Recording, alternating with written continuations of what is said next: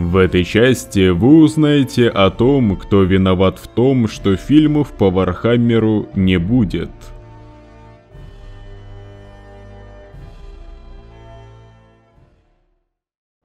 Спонсор выпуска – интернет-магазин wargame39.ru. Специально для подписчиков Историум ТВ действует 7% скидка.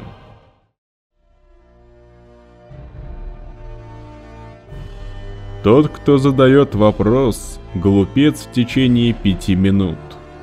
Тот, кто его не задает, глупец всю свою жизнь. Китайская поговорка.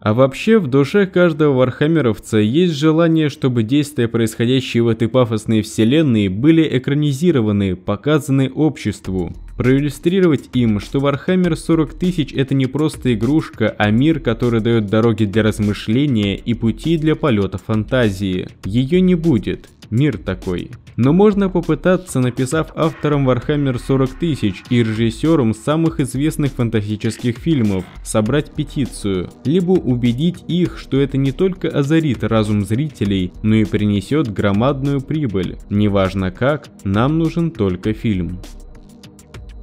Доброго времени суток! Я соавтор проекта Историум ТВ, отвечающий за тексты. И сейчас вы услышите мое личное мнение по заданному вопросу.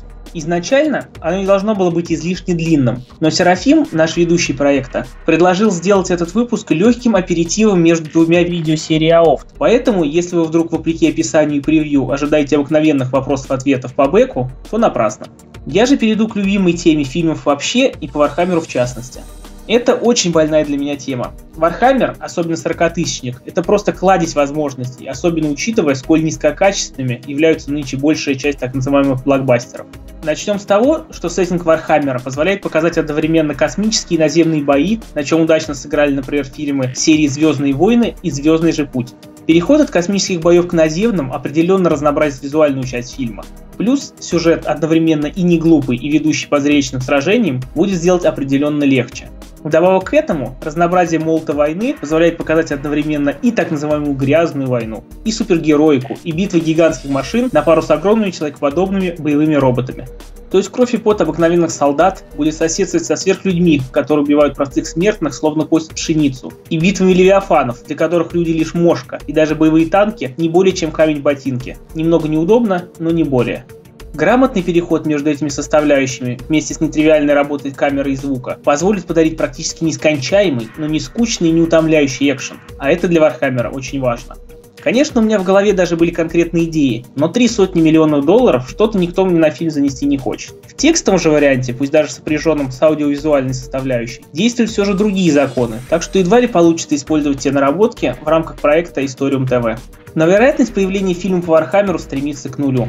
Об этом можно заявить прямо. Возможно, конечно, низкобюджетная поделка или еще один мультфильм уровня ультрамаринов, но не полноценный блокбастер. К сожалению, для полноценного воплощения мира Вархаммер нужен полнобюджетный фильм стоимостью в районе 200 миллионов, если не больше. И лучше даже не один, а трилогия или вроде того. При этом Вархаммер будет не Вархаммером, без крови и жестокости. И не будет фильма по Вархаммеру именно потому, что у блокбастера с рейтингом R этого года, который по совместительству является лучшими блокбастерами сезона, «Кингсман. Секретная служба» и «Безумный Макс. Дорога ярости», едва отбились в прокате. «Кингсман», конечно, не едва, но лишь за счет довольно скромного производственного бюджета. В то же самое время менее качественные и куда менее интересные так называемые блокбастеры с рейтингом PG-13 спокойно приносили миллиарды. Сейчас время, когда экранизировать детские игрушки в разы выгоднее, чем создавать фильмы для взрослых. Продукция для детей была популярна всегда, но сейчас даже многим взрослым больше нравится смотреть на невразумительное мельтешение роботов, чем на жесткий и бескомпромиссный экшен, где камера не имеет привычки стыдливо терять фокус во время демонстрации даже чуточку жестоких моментов. И правда кто-нибудь надеется, что инвестор, имея сотни миллионов в кармане, вложит их в проект с рейтингом R, который даже не вспомню когда, последний раз зарабатывали хотя бы половину миллиарда. Не надо останавливать видео, чтобы поискать информацию в интернете, ибо я поискал за вас. Последним фильмом со взрослым рейтингом, собравшим больше полумиллиарда в прокате, был третий лишний 2012 года выпуска. Согласитесь, его жанр немного отличается от того, которым потенциально может выступить 40 тысяч. К примеру, в следующем году нас ждет очередная экранизация взрослых комиксов, чьи предшественники, кстати, по большей части проваливались в прокате, даже имея не самый раздутый бюджет. Однако, судя по трейлеру, слогану и кадрам, новинка также не выглядит особо дорогой и, очевидно, хочет выехать на безумной потажности как главного героя, так и видеоряда, смакуя все запретные в рейтинге 13+, темы, как самоцель. Вархаммер же все же не может просто дешево паразитировать на взрослых темах и не может быть комедийным боевиком. Равно как и не может взывать к ностальгии, как это делали неудержимые, чей бюджет опять-таки недостаточен для полноценного воплощения Вархаммера. Собственно, о чем вообще говорить? Лишь около пяти фильмов с рейтингом R за всю историю кинематографа сумели одолеть полумиллиардный рубеж по сборам. А если выкинуть из списка комедии и совсем уж древнего второго Терминатора, во времена которого дети еще вполне могли попадать на такие сеансы, останется только легендарная Матрица и одиозные страсти Христова. Как вы думаете, сколько найдется инвесторов, готовых рисковать суммой с 8 нулями, надеясь повторить успех фильма «Матрица. Перезагрузка»? На мой взгляд, единственный реальный шанс получить Warhammer в кино – собрать на краудфандинге десятки миллионов, что может побудить серьезный инвестор разделить финансовые риски с фанатами и покажет, насколько готова платить аудитория, заинтересована в проекте. Но это тоже маловероятно по очевидным причинам. Однако не все так плохо. Вслед за превращением коммерческого кинематографа в конвейер фильмов для школьников и их родителей, индустрия сериалов подхватила чаяние части людей, жаждущих взрослого зрелища. Некоторые сериалы стали просто паразитировать на чернухе и сексе, забыв о чувстве меры и художественной составляющей. Впрочем, все же не все. В то же самое время сериалы начали привлекать серьезные бюджеты, пускай распределенные на целый сезон, а не сжатые на один фильм. Апофеозом этого, разумеется, стал настоящий детектив, срепетированный, сыгранный и снятый на уровне недоступном современному массовому кинематографу. Сценарий, правда, название идеального не тянет. Несколько сцен вышеупомянутого секса вставлены непонятно ради чего, и вообще придраться есть к чему, но все же это очевидный шаг вперед. И этим можно воспользоваться. Сериал по Вархаммеру гипотетически возможен. К примеру, у меня самого были идеи сериала по арбитрам, где их непререкаемое следование закону будет разбавлено властью Инквизитора и противоречивой командой, которую он навяжет законникам. Можно сказать, что это будет перенесенная на экран серия приключений ролевой игры «Темная ересь». Есть еще одна форма, в которой может реализоваться Warhammer мультфильм. Только не низкобюджетное 3D, а то, чем нас радует Warner Bros. в рамках вселенной DC Comics. Эти мультфильмы стоят недорого, смотрятся прекрасно и способны окупиться, опираясь на один лишь фэндом. И как нам давно доказали, мультипликация вполне может быть взрослой, брутальной и кровавой. В общем, как-то так. Такой у меня взгляд на будущее Вархаммера на кино и телеэкране. Ваше же мнение пишите в комментариях. Итак, про эфемерные материи я уже рассказал, давайте же вспомним прошлое и заглянем в ближайшее будущее.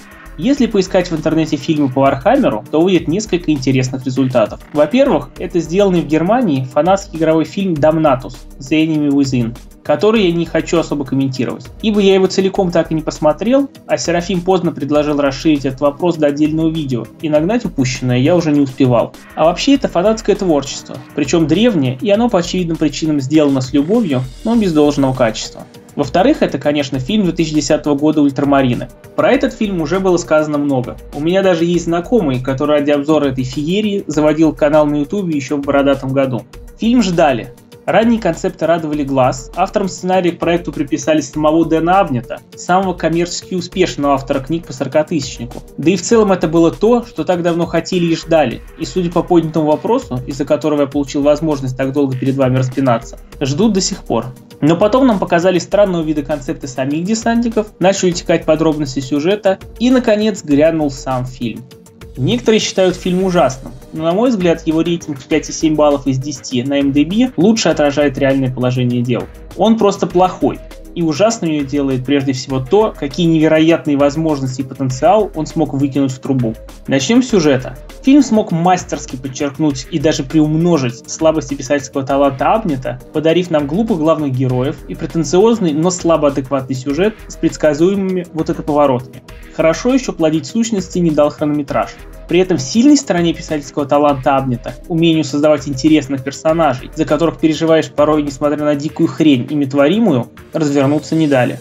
Ультрамарины на пару с имперскими кулаками невыразительны и заставляют с ностальгией вспоминать Габриэля Энджелоса или хотя бы Капитана Тита.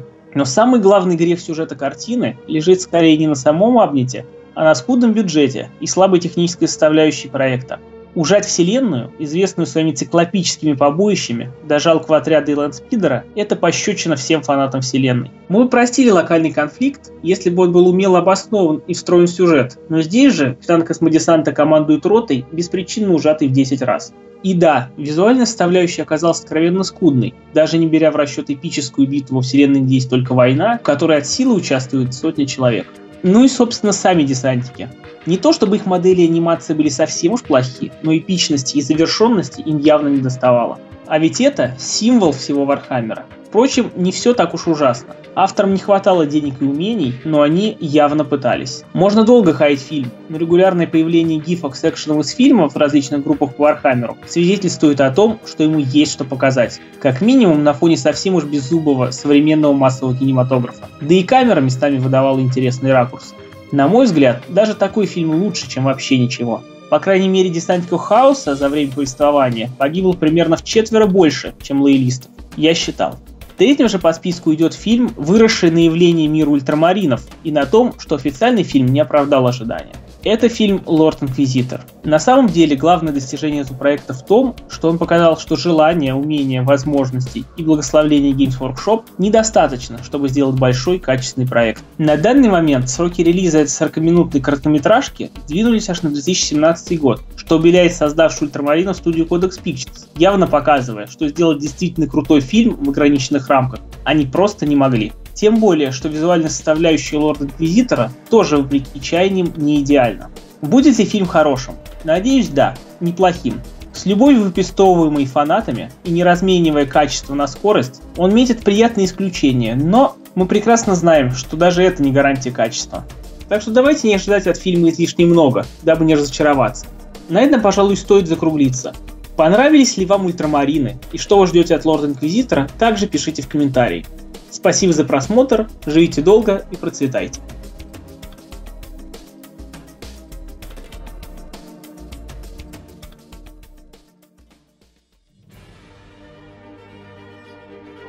Свои вопросы по вселенной Молота войны оставляйте в комментариях к выпуску и соответствующей теме в нашей группе ВКонтакте, ведь именно от наличия интересных вопросов зависит появление новых видео этой серии. Подписывайтесь на канал и заходите на warhammergames.ru, где вы можете скачать книги, кодексы, файлы для игр по вселенной, а также ознакомиться со свежими новостями.